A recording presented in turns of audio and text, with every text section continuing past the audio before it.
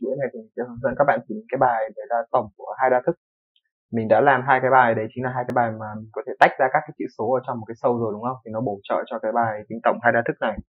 Dòng đầu tiên sẽ là số lượng test cây mỗi test cây gồm hai dòng. Dòng thứ nhất là đa thức thứ nhất và dòng thứ hai thì là đa thức thứ hai. Và à, chú ý là họ cái đa thức họ liệt kê cả mũ không và bậc của hai đa thức không vượt quá 10.000 output thì bạn sẽ in ra cái kết quả của mỗi test cây trên một dòng. Ví dụ như ở đây á thì bạn thấy là cái tổng của mình nó sẽ là 6x mũ 5 đúng không? Cộng với 3x bình cộng 2x mũ 1 cộng với 10x mũ 0 đúng không nhỉ? Thì cách làm như thế này bạn đã có hai cái đa thức như thế này rồi thì bạn sử dụng cho mình thêm một cái mảng đếm nào đó ok? Cái mảng đếm này nó có nhiệm vụ đấy chính là nó sẽ lưu xem là mỗi cái mỗi cái bậc bậc của x ấy được chưa? Uh, nó sẽ có có hệ số là bao nhiêu? Ví dụ như bạn phải biết là x mũ 5 có hệ số là bao nhiêu x mũ 3 có hệ số là bao nhiêu vân vân. Đấy thì trong trường hợp này ví dụ bạn duyệt qua cái sâu thứ nhất là hai mũ năm đúng không? Thì bạn sẽ cho cao của cao của năm bằng hai. Đấy để chỉ ra rằng là gì? Cái thằng mà mũ năm của ông ấy có số hệ số là hai. Tiếp theo duyệt qua thằng 3 thì bạn lại cho cao của cao của hai bằng ba. Đấy. Và duyệt qua x mũ không à 5 x mũ không thì bạn sẽ cho cao của cao của không bằng năm. Đấy. thế là xong sâu thứ nhất nhá. Bây giờ bạn duyệt qua cái sâu thứ hai ấy, và bạn gặp 4x mũ 5 này thì bạn lại cộng thêm cái cao 5 này thêm 4 đơn vị nữa là bằng 6 ok? Duyệt qua 2x mũ 1 thì bạn sẽ cho cao của 1 bằng 2 và duyệt qua 10x mũ 0 thì bạn sẽ cho cộng thêm 10 x vào cao mũ 0 này là 10 thì nó sẽ bằng 15 ok? Và bây giờ thì bạn đã có hệ số của các cái cái cái cái, cái uh, các cái phần tử trong cái đa thức tổng đấy rồi. Có nghĩa là k uh, ờ, x mũ 5 thì hệ số là 6 này x mũ 2 thì hệ số là 3 x mũ 1 thì hệ số là 2 và x mũ 0 thì hệ số là 15 đấy thì cách làm nó là như thế ok? Nhưng mà rõ ràng ở đây bạn phải biết xử lý sâu một tí. Tức là bạn sẽ phải tách cho mình được là cái cái số mũ này đúng không? Khi mà bạn gặp một cái cụm này bạn phải tách từ hai phần. Thứ nhất là số mũ và phần thứ hai là hệ số. Đấy. ok? Thì bạn thấy cái cái cái cái cái cái cách viết của nó đấy chính là gì nhỉ? Đầu tiên là nếu mà bạn gặp một cái ký tự nào là ký tự số ấy, thì có nghĩa là bạn đã bắt bắt bắt gặp cái cụm đấy rồi đúng không? Thì bạn sẽ tách ra hai phần. Phần thứ nhất nó chính là cái hệ số. Đấy sau khi mà bạn tách ra được cái hệ số rồi vậy thì bạn sẽ bỏ qua ba ký tự. Đấy chính là dấu sao dấu x và dấu mũ. Thì nó sẽ bắt đầu đến cái phần uh, chỗ này là hệ số đúng không? Thế còn chỗ này là số mũ. Đấy. thì cứ gặp một cái cụm như thế này thì bạn sẽ làm việc như thế làm cho mình cái việc đấy. Chính là bạn sẽ tách ra hệ số và tách ra số mũ. Thế còn tách thì nó tương tự như cái hai cái bài vừa rồi ấy. Ví dụ như bạn có cái biểu thức là 234 nhân với x mũ 75 đấy. Thì bạn duyệt qua cái số 2 này bạn thấy thằng 2 này là thằng số đúng không? Thì bạn phải biết ngay đây chính là cái số bắt đầu của cái hệ số được chưa? Thì bạn chỉ cần duyệt cho từng nào mà các cái ký tự này nó còn là số ấy thì bạn uh, ghép nó vào với nhau đúng không? Thì mình sẽ được cái số 234 chính là hệ số. Sau khi bạn duyệt qua thằng 234 này rồi ấy, thì bạn chỉ cần nhảy cóc ba đơn vị để nó ra được cái hệ số cái số tiếp theo ấy nó chính là cái số bắt đầu của cái số mũ của thằng x này. Đấy thì mình sẽ lấy ra được số 75 ok? Thì bây giờ mình sẽ hướng dẫn các bạn cách tách này ở đây mình sẽ dùng một cái à, mảng là mảng uh, đa thức hoặc là mảng gì đó đi. Đa thức có tối đa là mười người tạo bằng không. Được chưa? Thực ra thì không cần phải khởi tạo bằng không cũng được bởi vì mỗi test cây bạn đều cần phải uh, reset mà. Ở đây mình dùng thêm một cái biến cao nữa khởi tạo bằng không. Tí nữa mình sẽ giải thích tại sao bạn cần sử dụng một cái biến cao. Sau đó mình viết một cái hàm xử lý nhá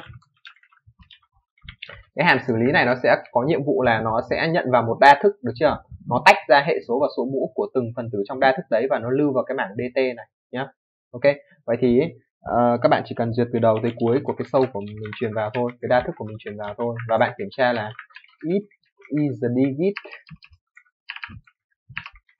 của ci chứng, chứng tỏ là gì nhỉ? Cái thằng ci này nó chính là một số nó sẽ là cái thằng bắt đầu của một cái cái phần tử trong trong trong cái đa thức của bạn ấy. ví dụ như khi mà bạn duyệt qua số 2 này, này thì bạn sẽ biết ngay cái cụm 2x mũ 5 này chính là một phần tử trong mạng thì đầu tiên bạn sẽ tách ra cái phần hệ số cho mình.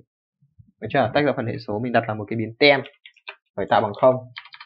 Sau đó bạn lặp với điều kiện lặp là y còn khác cái dấu sao. Được chưa? Đấy. Bạn thấy là sau khi mà kết thúc cái hệ số ấy cái phần hệ số này nó chính là dấu sao đúng không? Vậy thì bạn lọc chừng nào mà cái số của bạn nó còn khác dấu sao, hoặc là bạn có thể là is digit cũng được. Chỗ này bạn có thể là y is digit ci cũng được, hoặc y ci khác dấu sao cũng được. Thì làm sao nhỉ? Bạn sẽ lấy tem nhân với 10 đúng không? Tem bằng tem nhân với 10 sau đó là cộng với CI trừ đi ký tự không. Đấy. Ví dụ như là cái cụm này này, bạn mà gặp cái cụm bắt cái cụm 234 sao x mũ 75 này này, thì khi mà bạn gặp một ký tự đầu tiên là ký tự hai này, thì bạn phải tách cho mình được cái số 234 này thì cái vòng lặp y đấy nó chính là cái điều kiện điều đấy ok? Ở chỗ này bạn tăng y lên nữa là được. Rồi vậy thì sau cái vòng lặp y này ấy, là bạn đã tách được cái hệ số của mình là 234 rồi đúng không? Bây giờ cái thằng y nó đang là thằng sao này rồi nhá nhớ nhá không phải là thằng 4 này đâu. Bây giờ cái chỉ số y của bạn nó đang là thằng sao này rồi đấy. Thì làm sao? Bạn chỉ cần cộng thêm uh, 1 2 3 à chỗ này nó còn cái dấu dấu dấu mũ ở đây nữa nhá đúng không? Thì bạn chỉ cần nhảy ba đơn vị để nó nhảy ra được cái hệ số tiếp theo, bắt đầu cái số mũ ấy, được chưa? Vậy thì ở đây bạn sẽ cho y cộng bằng 3 để nó nhảy ra cái chỉ số tiếp theo, là cái chỉ số bắt đầu của cái số mũ của bạn, là số 7 này này. Thì tiếp tục bây giờ bạn lại tách tiếp, được chưa? Tách tiếp cái hệ số mũ. Các bạn để ý như này nhá. Đấy chính là sau, cứ sau mỗi cụm ấy thì nó sẽ là một dấu cách này, dấu cộng này, sau đó là dấu cách. Vậy thì bạn chỉ cần sử dụng ở chỗ đây, dùng cái, một cái biến là cái biến mũ bằng không, sau đó bạn lặp với điều kiện là y ci còn còn khác cái dấu cách. Đấy bởi vì bạn biết là sau cái sau cái hệ số của cái cái cái à quên sau cái số mũ của cái cái cụm này nó sẽ là dấu cách mà đúng không? Hoặc là chỗ này bạn kiểm tra là y is a digit ci cũng được. Thì mình làm gì nhỉ?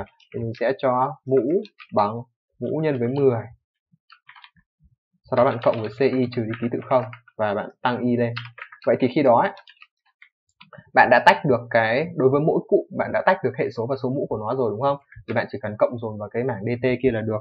Thì bạn sẽ cho là dt này được chưa? Của thằng mũ ấy nó sẽ bằng cộng bằng hệ số được chưa? Hệ số đây nó chính là ten ví dụ như bạn tách được ờ, uh, 234 nhân với x mũ 75 thì khi đó bạn sẽ phải lưu là cao của 75 là bằng 234 đấy.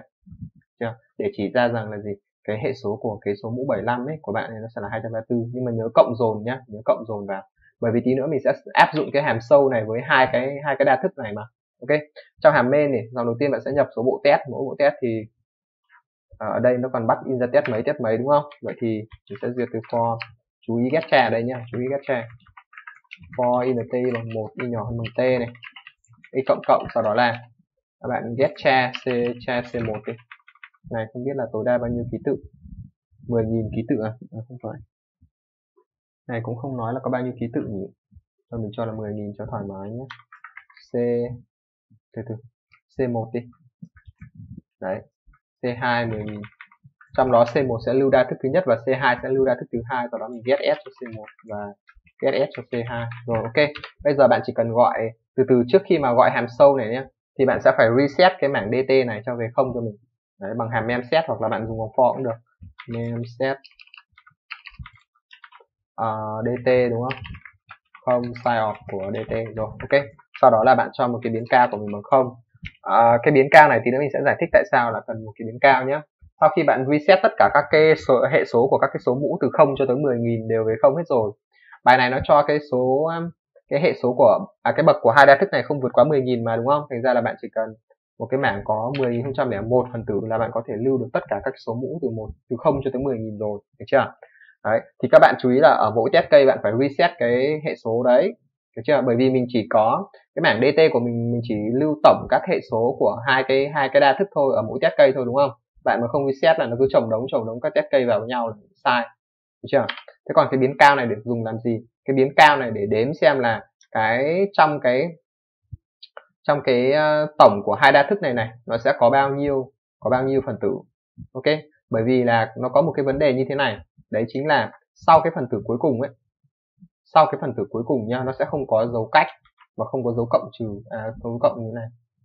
Đấy, ví dụ như sau thằng 15 x mũ không thì nó không có dấu cộng và dấu cách như thế này. Thì bạn phải biết xử lý cái vấn đề đấy được chưa? Bạn sẽ sử dụng thêm một cái bước nữa đấy chính là bạn đếm xem là trong cái tổng này nó có bao nhiêu số hạng được chưa? Hay là bao nhiêu phần tử. Thì bạn chỉ cần duyệt đến cái phần tử cuối cùng thì bạn sẽ không in ra cái dấu cách ở đằng sau nữa là được. Đó thì nó sẽ xử lý đúng với cái output của đầu bài thì mình chỉ cần duyệt từ cái uh, hệ số lớn nhất à, có số mũ lớn nhất là số mũ 10.000 cho tới số mũ không được chưa? Và mình kiểm tra là if dt của y mà khác không ấy thì mình sẽ tăng cái bit cao lên. Vậy là mình đã biết là cái tổng của hai đa thức này nó có bao nhiêu đa thức rồi đúng không? Nó có bao nhiêu phần tử rồi ok? Bây giờ thì bạn chỉ cần duyệt từ cái hệ số lớn cho tới hệ số bé thôi. Và kiểm tra kiểm tra nếu mà cái thằng cái hệ số nào mà khác không thì mình sẽ in ra. Ở đây mình sẽ in ra cái test hai chấm phần trăm d đúng không? Hai chấm. Từ từ, chỗ này rồi có dấu cách ở đây. Rồi, bây giờ bạn chỉ cần xét từ cái số mũ lớn nhất, tức là số mũ y bằng 10.000 y lớn bằng không, y trừ trừ, và bạn kiểm tra là ít dt của y mà khác không. Đó. Thì phải, bạn sẽ phải in ra cái gì? Bạn sẽ in, phải in ra là phần trăm d đúng không? Sao với x phần trăm d. Sau đó thì phần trăm d đầu tiên ấy.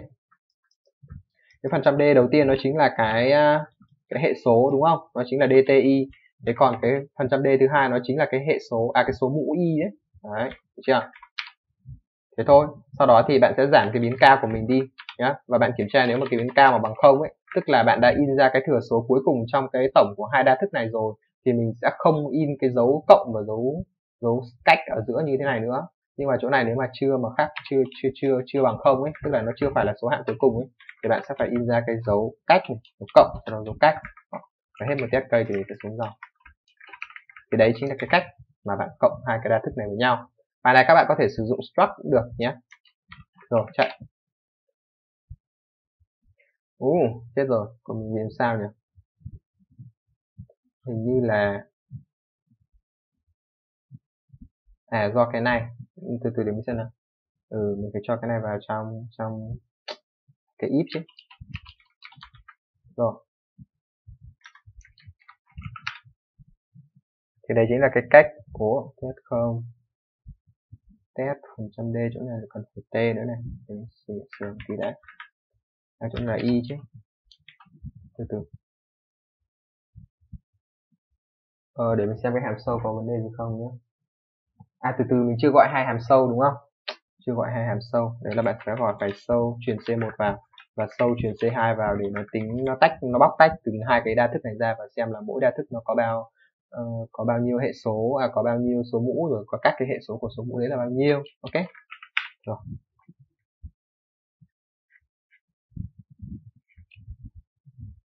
Từ từ sao nó không đi ra đây ta? Scan phần trăm d get share. I get s 1 c 2 chắc là do mình ở à đây chỗ này tăng y rồi đúng không? Y trừ trừ. Có vấn đề gì nhỉ? Để mình sửa lại một chút xem nào. For in t y bằng không? Y nhỏ chuyên đen của c if is the digit của ci khác dấu uh, sao đúng không? Kia là khác dấu cách đúng không? Từ từ xem nào ừ, khác dấu cách hoặc là is the digit cũng được. Ừ, dấu cách. Mũ bằng mũ nhân với 10 sau đó cộng với ci đúng không? Dt của mũ cộng bằng kem rồi. Scan t get tra. Point in đây là một get sc1 và get sc2 đúng không? Sau đó là mem set. If dti thì tôi sẽ tăng cái biến cao của mình lên. khác phần trăm d. Tiếp dti khác không? Sao đây nó không in ra cái gì nhỉ? Đừng bảo cái này bị tràn những cái này làm sao mà tràn được nhỉ?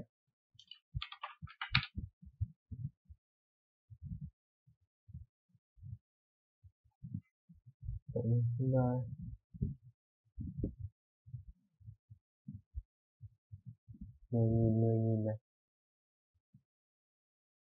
từ từ để mình xem này ờ,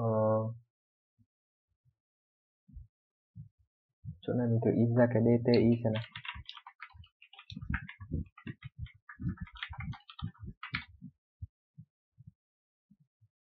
Ủa, sao nó không in ra nhỉ?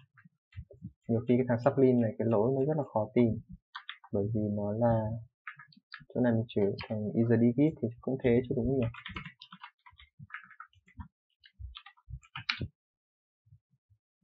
Y cộng bằng 3 ủa y giờ đi kít cái này có dấu cách mà nhỉ? Nó thành 6x mũ 5 cộng với 3x bình cộng với 2x mũ 1 cộng 15x mũ 0 đúng không? Từ từ mình xem nào. Sau cái à à à à à. Từ từ.